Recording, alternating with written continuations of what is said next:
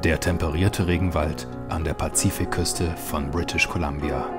Heimat uralter Bäume. Lebensraum für Adler, Bären und Wapitis. Hier im Toba Valley wollen SK Touristik und Wilderness International gemeinsam 50.000 Quadratmeter unberührten Regenwald unter Schutz stellen.